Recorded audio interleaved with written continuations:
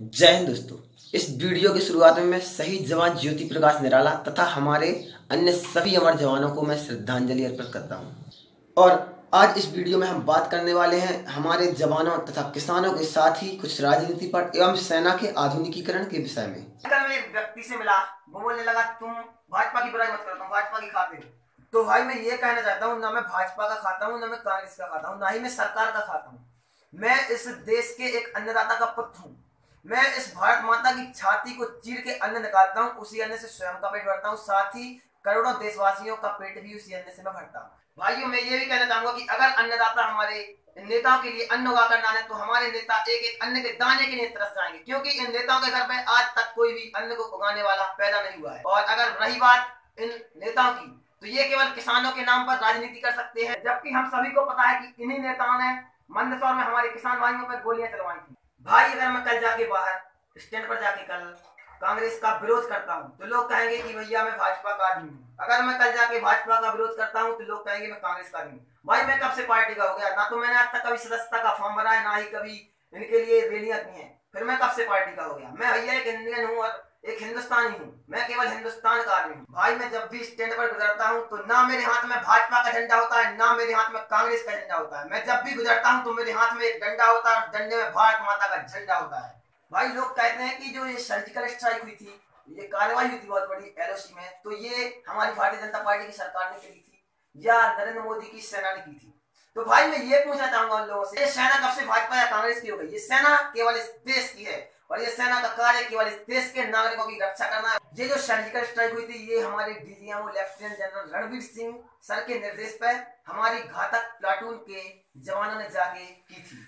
और ये हमारे जो कि जवान शहीद हुए थे उरी हमले में, उन सभी की शहादत का बदला था। भाई, मैं सरकार से ये पूछना चाहता हूँ कि आप जो विधायकों और सांसदों को दो दो ढाई ढाई लाख रुपए पेमेंट देते हैं, साथ में इसके भत्ता भी देते हैं आप लोग। और साथ ही जब चुनाव होते हैं तो इनसे कम से कम दो दो, तीन तीन करोड़ रुपए एक एक प्रत्याशी खर्च करता है। अगर आप यही पैसे हमारे देश के गरीब किसानों और अमर जवानों के परिवार के लिए दें तो आपको वोट मांगने के लिए घर घर नहीं जाना पड़ेगा। साथ ही हमारे मतदाता आपकी झोली को वोटों से भर देंगे, क्योंकि हम सभी जानते हैं कि हमारे यहाँ का सत्तर प्रतिशत आबादी जो है, वह किसान वर्ग से है। पिछले कुछ दिनों से देखा जा रहा है कि घाटी में मतलब जम्मू कश्मीर में आईएस के कुछ स्नाइपर सक्रिय हो गए हैं। जो कि हमारे जवानों को लगातार निशाना बना रहे हैं। और ऐसा इसलिए हो रहा है क्योंकि वह आतंकवादी एम फोर हंड्रेड कार्बन जैसी अत्याधुनिक हथियारों से लैस होते हैं। तथा हमारे जवान आज भी उन्नीस सौ पैंतालीस में बनी हुई ए के फोर्टी सेवन का यूज़ करते हैं। हमारी सरकार को चाहिए कि वह विधायकों, सांसदों और अन्य लोगों के पैसों में कटौती करके हमारी सेना के लिए आईएसआई तेवर जैसी अत्याधुनिक हथियार खरीद करे। साथ ही बुलेट प्रूफ जैकेट दे। एक इंटरव्यू में हमारे वित्त मंत्री अरुण जेटली जी ने कहा कि अगर हमारे पास पैसे होते तो हम भारतीय सेना को ज़रूर देते। तो भैया, जब आपके पास पैसे नहीं है तो आपने ये स्टेच्यू ऑफ़ यूनिटी कहाँ से खड़ी कर दी मुझे ना स्टेच्यू ऑफ़ यूनिटी चाहिए, ना ही बुलेट ट्रेन चाहिए। मुझे चाहिए मेरे जवानों के लिए अत्याधुनिक हथियार दिए जाए, साथ ही उन्हें बुलेट प्रूफ जैकेट दी जाए। इस वर्ष जो हमारा रक्षा बजट था हुआ है बहुत ही कम था। मतलब कि कहा जा रहा कि उन्नीस सौ बासठ के बाद हमारी जीडीपी का सबसे कम परसेंट जो कि था इस साल का रक्षा बजट था। अगर भारतीय सेना के आधुनिकीकरण की बात की जाए तो हमारी सेना अभी भी फंड की कमी से जूझ रही है। भारतीय सेना को इस वर्ष इक्कीस हज़ार करोड़ रुपए दिए गए, जबकि उसे अभी भी सत्रह हज़ार करोड़ रुपए की कमी है।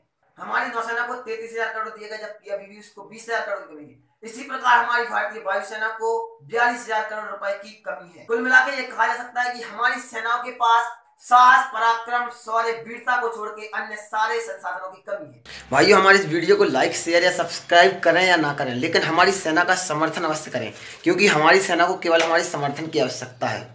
और साथ ही हमारे जवानों के साथ साथ हमारे किसानों का भी समर्थन करें। जय हिंद, जय जवान, जय किसान।